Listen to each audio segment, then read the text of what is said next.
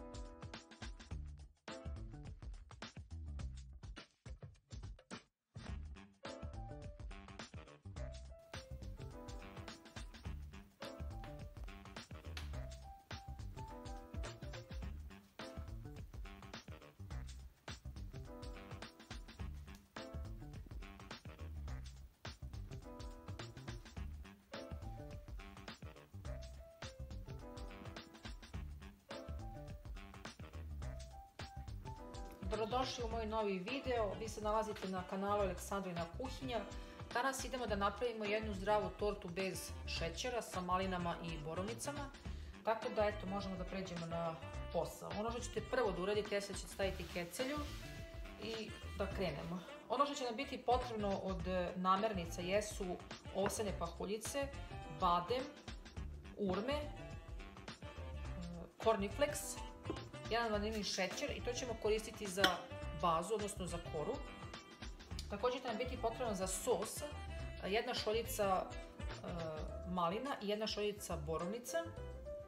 A za fil će nam biti potreban mascarpone sir, e, jedna slatka pavlaka, želatin i zasladit ćemo po ukusu sa ovim natural, natural prirodnim zaslađivačem stevia.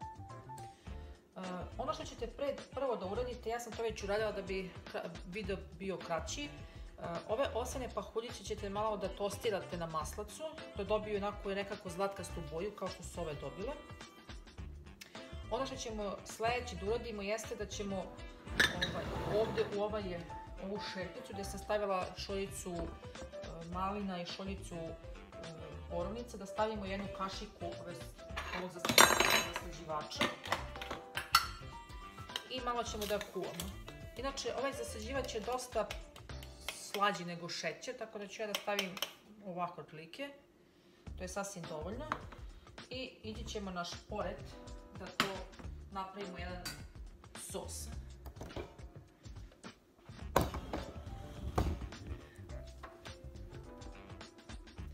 Tako da ćemo ovdje da kuvamo ovaj sos. Dok se ne skuva i ne napravi naravno tečno. Evo ovako, sada kad ste skuvali ovaj džem, on treba ovako da izgleda. I trebate da ga ostavite sada da se ohladi. Pošto će on ići u fil. Dok se džem hladi, mi ćemo da napravimo bazu. Ako imate jedan ovako food procesor, tu ćete da stavite osene pahuljice.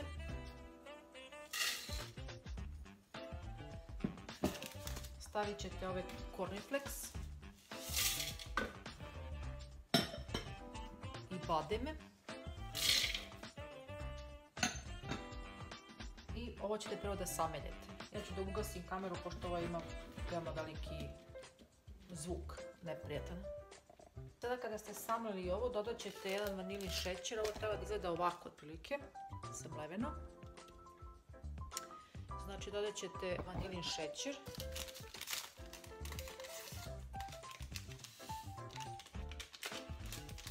I dodat ćete urme. U slučaju, ako vam smesa bude prilično suva, dodat ćete jednu ili dve kašike e, vode. Evo ja sam izmjela, dodala sam dve kašike vode, da bi se moglo ovako da se, ovako treba da izgleda, prilike. I sada ću ovo da prebacim u kalup. Ja koristim za ovu tortu kalup od, od 20 veličine. Tako da ćemo da prebacimo u smesu i tapat ćemo ga da to bude u stvari kora. Znači prebacit ćete u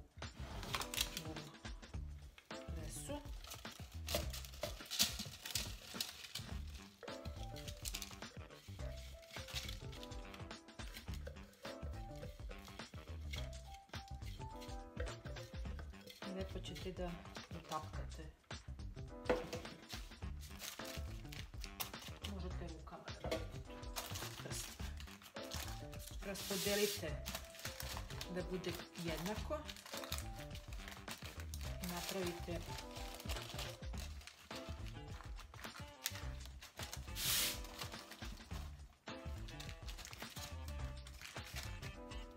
Čutapkajte do kraja. Kada ste dobro ovo utapkali, ovo treba ovako da izgleda.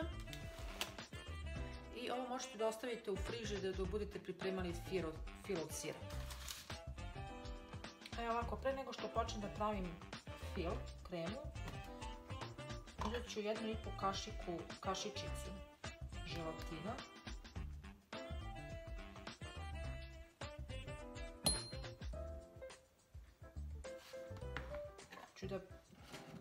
Stavim četiri kašike hladne vode i promešati treba da nabubri par minuta.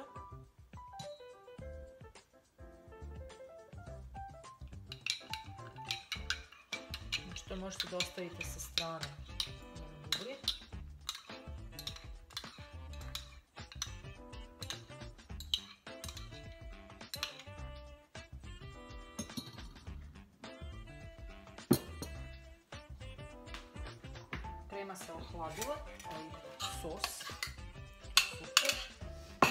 ćemo da počnemo da pravimo kremu.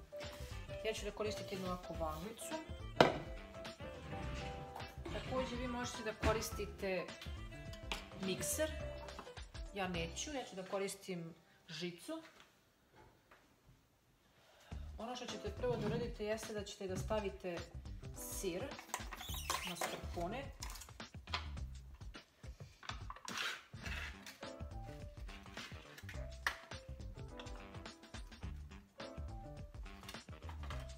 Prebacit ćete u radnu vanglicu.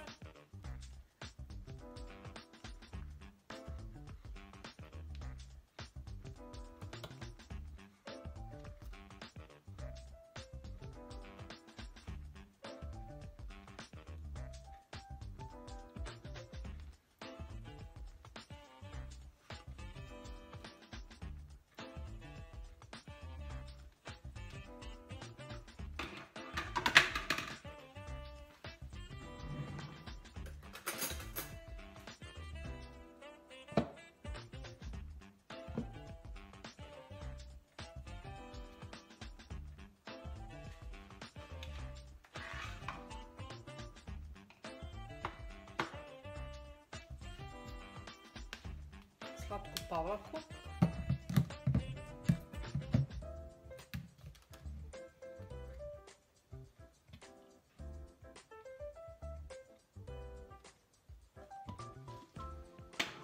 I ja ću za početak da stavim jednu kašiku ovo zasađivača. Neću da preterujem, ali ću da probam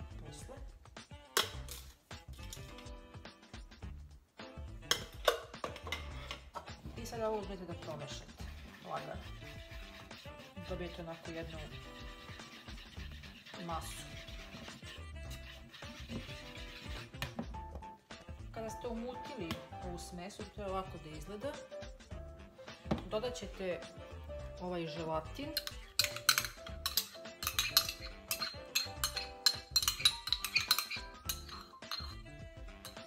I ja sam zaboravila da kažem na početku pola ceđeno ili mete. I ovo ćete da promešate. Dobro.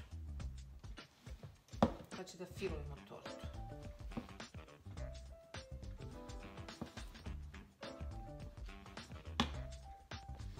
Evo, evo ovako to izgleda. Krema. Ja sam provjerila slatkoću, meni je dovoljno slatka, ja nisam dodavala još zasađivača, ali vi ako vama nije dovoljno, vi možete slobodno da dodate. Ovdje je sada ova kora i prebacit ćemo pola ovog fila ovdje.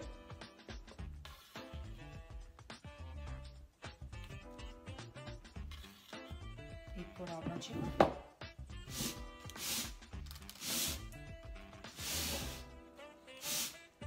A u drugi deo ćemo da dodamo pola ovog sosa od voća.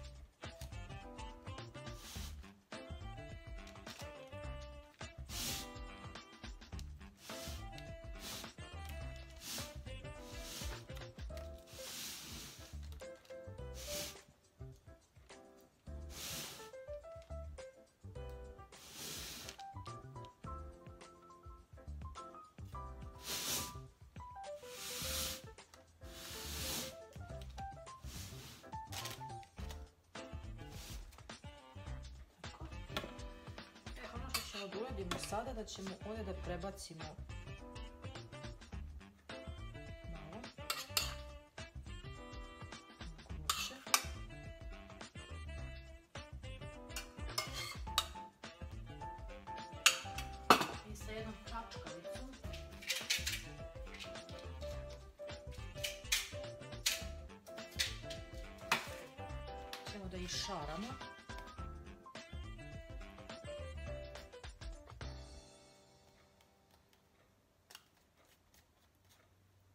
cijeloj ovoj prvom sloju.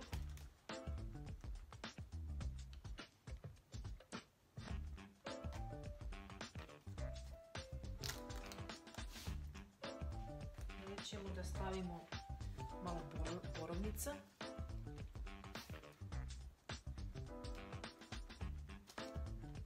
A nešto ćemo od ovog voća koristiti posle za dekoraciju kad se kolač, odnosno putovati.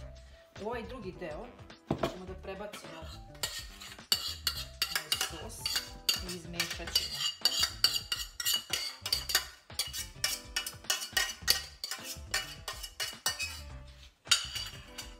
Znači izmešajte ovo i prebacite posle preko ovog. Kada ste pomešali ovaj sos sa filom, dobili ste ovakvu boju. I to sada prebacimo preko. I ravnomjerno raspodeli po torti.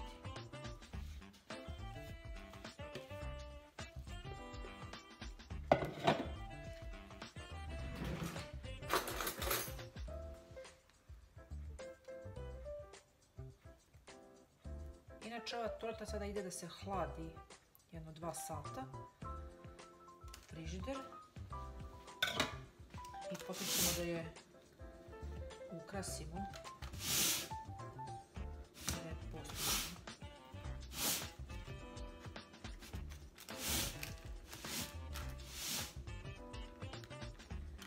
続いては子育てかやな。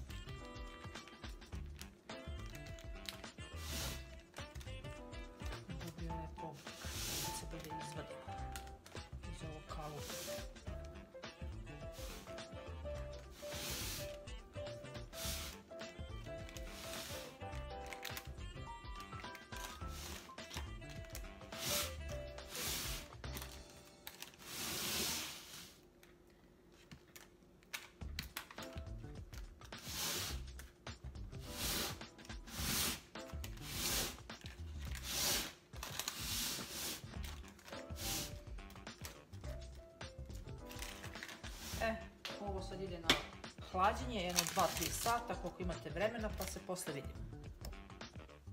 Evo, torta je gotova. Ja sam je izvadila iz kalupa i ona ovako izgleda. Malo sam je ukrasila sa vočkicama. Stavit ću jedino još malo limete preko.